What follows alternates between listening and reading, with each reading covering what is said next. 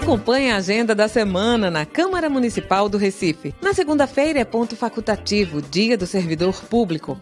Na terça-feira, às nove e meia da manhã, a vereadora Michele Collins promove reunião pública sobre políticas públicas e outras iniciativas destinadas à pessoa com deficiência e doença rara. Às duas da tarde, reunião da Comissão de Meio Ambiente, presidida pelo vereador João da Costa. Às três horas, reunião plenária. Logo após, reunião da Comissão de Acessibilidade e Mobilidade Urbana, presidida pelo vereador Gilberto Alves. Às cinco e meia da tarde, a vereadora Gorete Queiroz promove reunião solene em homenagem ao Dia do Cerimonialista. Às seis horas, o vereador Renato Antunes realiza audiência pública externa para discutir a segurança no bairro do Ipicep.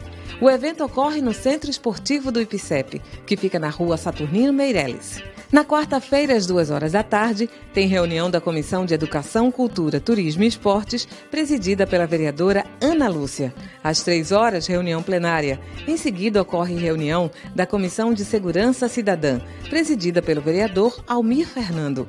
Às seis da tarde, a Comissão Executiva da Câmara promove reunião solene para a entrega do Prêmio Mérito de Saúde Professor Fernando Figueira.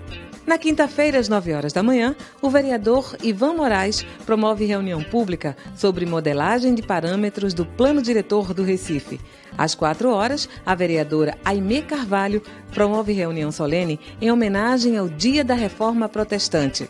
Na sexta-feira, uma hora da tarde, a Comissão de Saúde, presidida pelo vereador Rogério De Luca, realiza audiência pública para a prestação de contas do segundo quadrimestre deste ano da Secretaria de Saúde do Recife.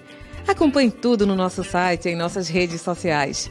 Eden Pereira e a agenda da semana na Câmara Municipal do Recife.